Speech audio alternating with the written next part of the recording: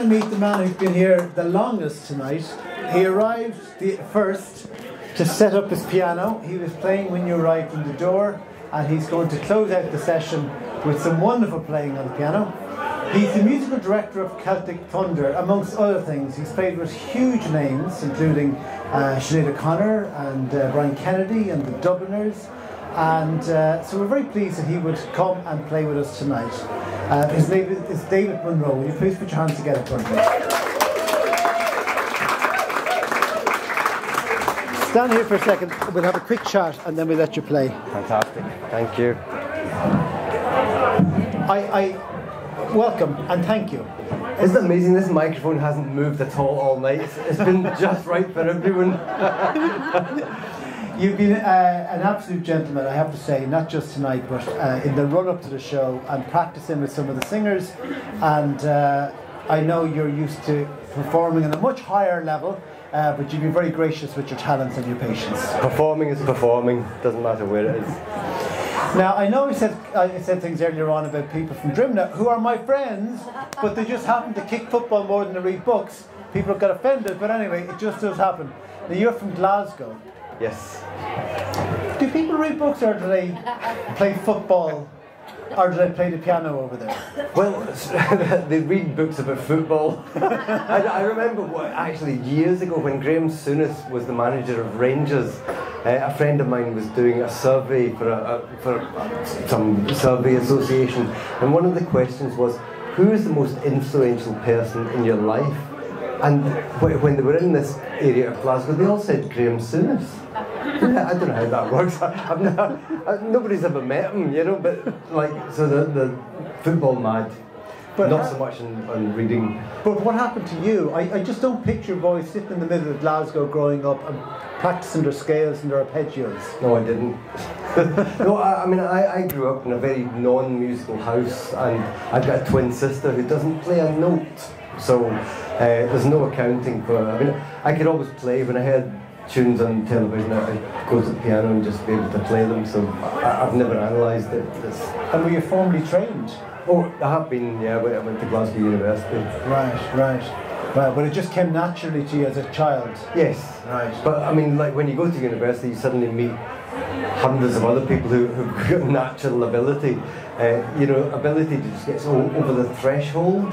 Uh, you have to work at it to, to make something of it. Tell us sort of about Celtic Thunder because even though it's a very, very big show, it's not that well known in Ireland. Uh, so Celtic Thunder is, uh, if you're familiar with American television, PBS is uh, one of the few um, forms of television in America where there's no advertising. So PBS is a really valued commodity amongst performers. Uh, Donald Trump did his best to try and uh, slash the funding for public broadcasting, and you know there's no advertising involved in it. But PBS has a, a, a kind of a, a, family quality feeling in America. Celtic Woman uh, is is a sort of the, the, the, the gender opposite of Celtic Thunder. So uh, they've been putting out classic Irish songs all dolled up with orchestras for years. So I do the same with uh, a bunch of gentlemen, uh, and so it's, it's very big. It's probably shown in America every day of the year somewhere. But they're, they're like a, almost like a boy band. They're a bunch of fine strapping Irish fellas who yeah. sing kind of Makem McClancy numbers. Would that be right? Well, no, that's, that's more the High Kings. It's, it's, it's, a little classy. I call it Celtic crossover because it's like classical crossover, but we do classic Irish songs in a way that works for PBS. And you are the musical director? And the producer, yes. And the producer. So you arrange the songs, you tell people where to sing, you bring in the instruments, that sort of thing? Yeah arrange all the orchestra, orchestrations and uh, the, the tone of each album is set as well. And how many albums have they done? Oh, I think we're on to around about 20 now. And how many shows did you do a year? Well, just come back. In fact, I'm still jet lagged, so I'm a bit cross eyed tonight. Uh, we probably do about 90 shows a year in America, or Australia is the other big territory. Right, so you're crisscrossing America for months at a time, would yes. that right? Yeah. So you're, you're, you're like a like the old style circus, you're on the road the whole it's time. circus, yeah. And, and how many people are in the show? Like how many people are in the circus? About 30 people on tour all, all together, uh, and we, we travel in tour buses. We'll live on the bus, and then there's uh, two or three uh, big articulated lorries that bring the show with us. So Right. that's great fun. So I mentioned in the intro uh, you've played with a lot of big names. Uh, maybe you can tell us a little bit, bit about them. Sinead obviously is, uh, is, is, is, an outstanding name. Uh, what, what did you do with Sinead? Well, there's a songwriter called Jimmy McCarthy who you'll probably know. Uh, Jimmy wrote a song uh, many years ago called The Contender about Jack Doyle, who was a, a heavyweight boxer, a world champion, an amazing man, had an amazing life. Uh, he married a woman called Movita, who he lost to Marlon, Brando. wife, yeah. Yeah. Uh, but Jack Doyle, not only was he an amazing boxer, he was a fantastic singer as well, and he filled Wembley Stadium for boxing, and then subsequently came back and filled it again as a singer. So uh, the contender is about Jack Doyle, who subsequently died in the early 70s, uh, an alcoholic, down and out uh, in the streets of London. Still well loved, but you know he couldn't really keep it together. So you were going to play So, that song. Jimmy Jimmy had written a, a lot of other songs round about the the story of Jack Doyle's life, and we were trying to put a show together, a musical together, and uh, Jimmy, being Jimmy, was able to put out a few calls to people, and suddenly we had Sinead O'Connor in the studio, uh, Mary Coughlan, another one, and um, uh, an, an, an actor. I can't remember the actor's name. I, I told you his name. Uh, has anyone seen the film where uh, Julia Roberts is in as the enemy within? Patrick Bergin. Bergin, yes. Patrick Bergin. Somebody give him a book. So that, that the, the, we, we all ended up in the studio together. so, um, how was Sinead like them? Uh, well, I'll tell you what, I mean, she, she could be difficult if she wanted to be, but I had absolutely no trouble with it. And I find that the higher you go up the food chain, the less trouble you have with, uh, with people telling them what to do. Because I suddenly found myself in a situation where she was looking for direction. She was saying, what, what, what, what am I to do? I mean, I've got a background in theatre, she doesn't. She's a pop singer.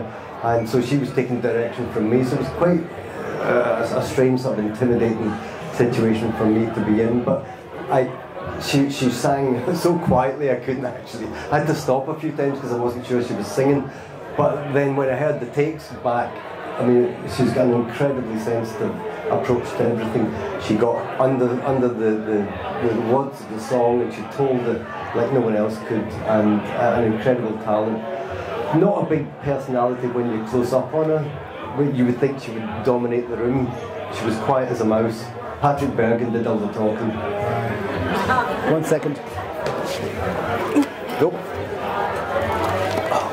Here come the ads. You are a classical uh, pianist as well. You have a classical album. Yep. I'm telling you this as if you didn't know. but I'm also telling the. Gold medals are stating the obvious. Tell us about this uh, CD. Well, this uh, I have to thank my wife for this. Heidi's sitting there uh, because I I've spent my life uh, working for other people, producing for them, writing for them, or trying to make them sound good, or trying to help tell their stories. And I've also composed. I was a composer with an opera company for many years as well, so I've written a lot of uh, opera stuff.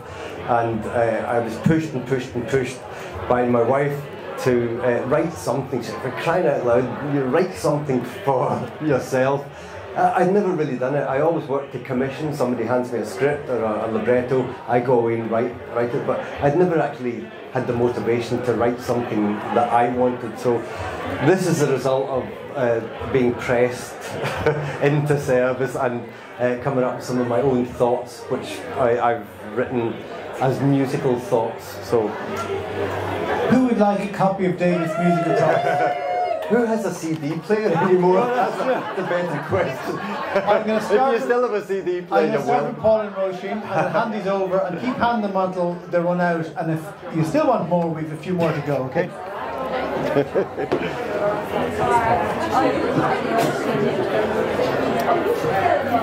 So, this side of the room. Take one and pass it on if you wish. Don't worry, we, we've got a coffee table at home made of the boxes of these. okay, so let's move on to the very last segment of the show. Uh, we have three lovely singers. Uh, we're going to start off with Helena. Helena, if you'd like to come to the stage. And David, you're going to take to the mic. Helena, what are you going to sing? I'm going to sing uh, the Edith Piaf song, La Vie en Rose. We need a bit of love. Les yeux qui font baisser les miens, rire qui s'épeure sur sa bouche. Voilà les portraits sans le touche. Je l'homme à j'appartiens.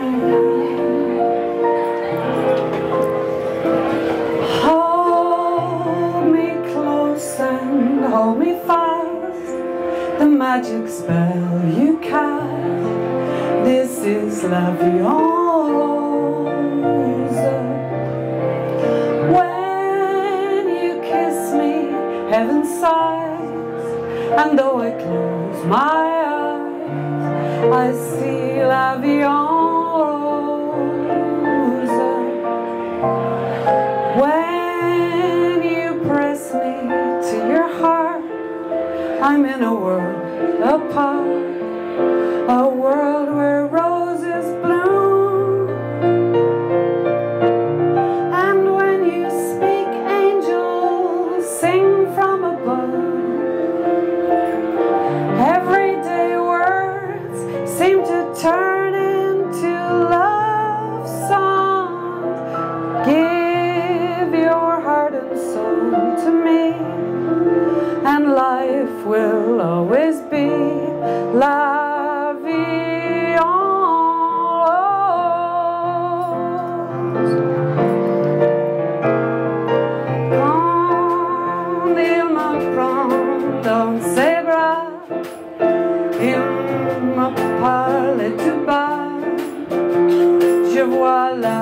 la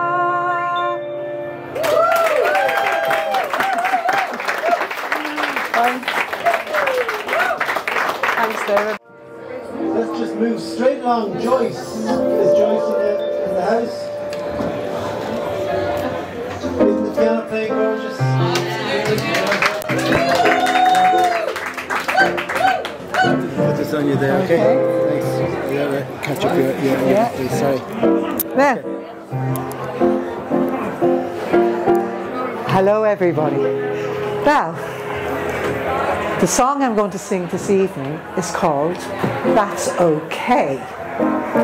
So I'm going to sing That's Okay. And you're going to repeat to me That's okay.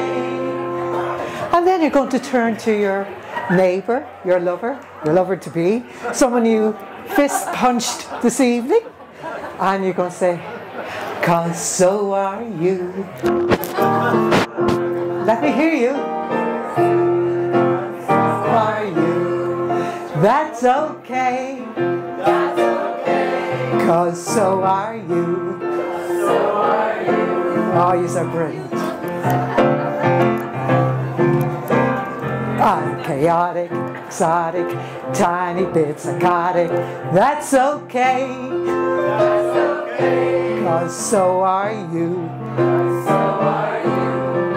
Troublemaker, heartbreaker, and a booty shaker. That's okay. That's okay. Cause so are you. So are you. Different yet the same. We're all playing a game.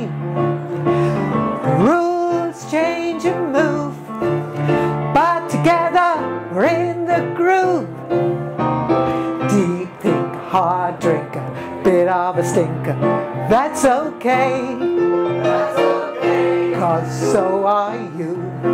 So are you. Rageous, contagious, tiny bit contagious. That's okay. That's okay. Cause so are you.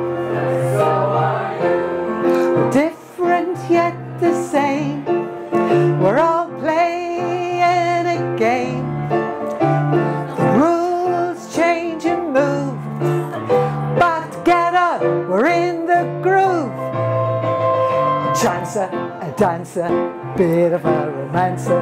That's okay. That's okay. Cause so are you. So are you. I'm outrageous, contagious, tiny bit contagious. I'm going to sing that one again. That's okay. I'm a deep thinker, hard drinker, bit of a stinker. That's okay. That's okay. Cause so are you. So are you. I'm a trier, a liar, a singer in a choir. That's okay. That's okay. Cause so are you. So are you. These things make us all. Some make us fall. The rules change and move, but together we're in the groove. I'm a messer, aggressor, even a cross-dresser. That's okay. Cause so are you. So are you. I'm mad, I'm glad, tiny bit sad. That's okay. That's okay. Cause so are you. Think you got the gist of this song? More verses be too long. Just know we're all the same. Life's a game just played in different ways. I'm refined, I'm kind, tiny bit behind, but that's okay. Cause so are you. I'm a diva, believer, underachiever. That's okay. Cause so are you. I said, that's okay. Cause so are you. I said, that's okay. That's okay. Cause so are you, and you, and you, and you, and you. Thank you for that. Excellent, excellent. That was okay, yeah, that was okay. Um, there is one thing that uh, Joyce forgot to tell you about that song, and that is that she wrote it.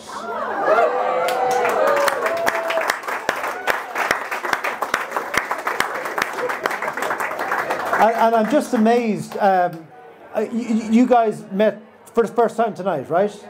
Did you practice? You practiced just on the phone? Ten to seven. I, I just find it amazing that you can. The, the accompaniment is so wonderful and, and brings such great life to the song. It's, it's almost like you guys have been playing it together for years, you know.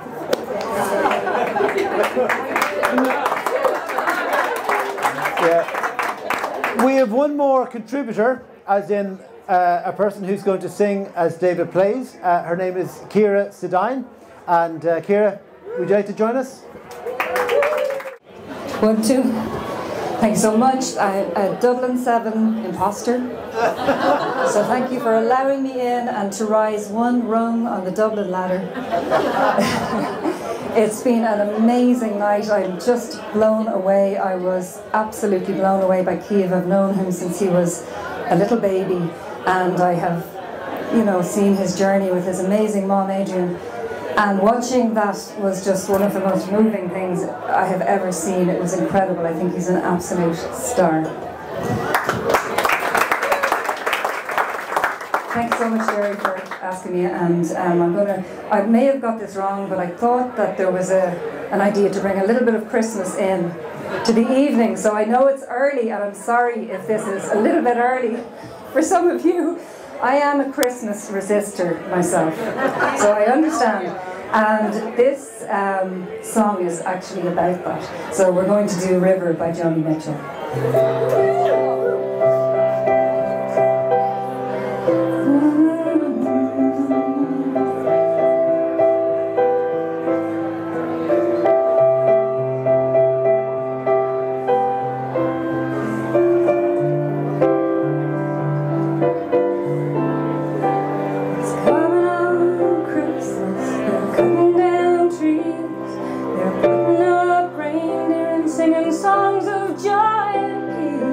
I wish I had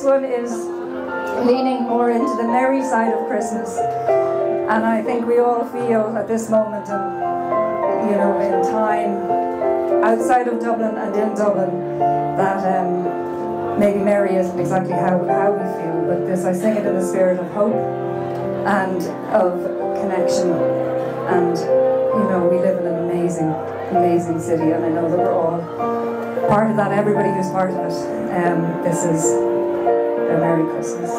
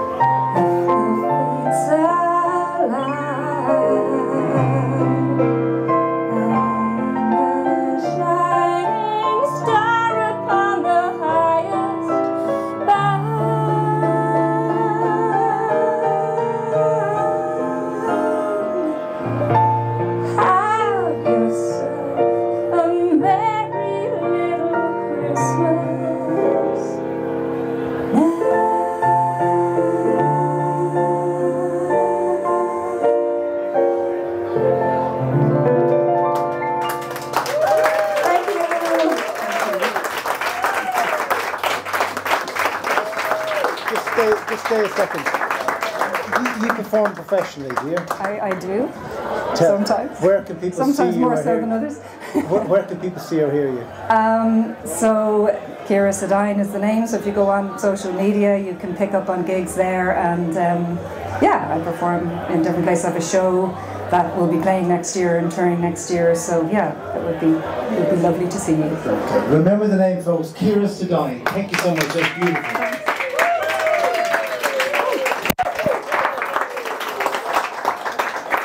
We're way past time, way past time, and I wanted to finish off with something very, very peaceful.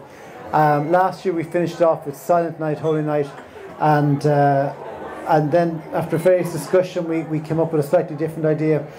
Um, and I suppose, uh, you know, we, we covered a huge amount of ground tonight from the awful, awfulness that's happening in Gaza and Ukraine. Uh, we talked a little bit about what happened in Dublin yesterday. Uh, we met a man who has been detained in Guantanamo, and uh, we met another man who, for terrible, terrible biological reasons, has been imprisoned for a long time as well. That was, of course, Queeve. So it's an opportunity to maybe just think about it. Um, if you pray, maybe try praying now. If you meditate, maybe you should meditate. But and if not, just enjoy the music. Uh, I asked David maybe if you could do the Moonlight Sonata by Beethoven, and that would close out the night. Would that be okay? Oh, thank you.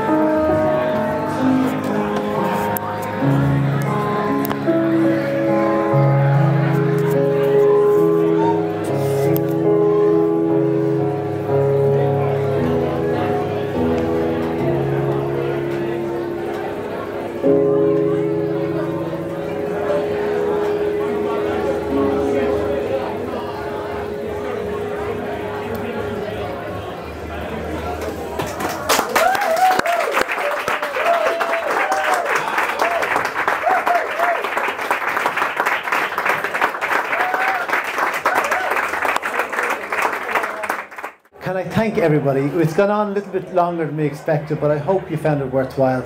We had a wonderful night. We met a lot of very interesting people, and we met some really talented people.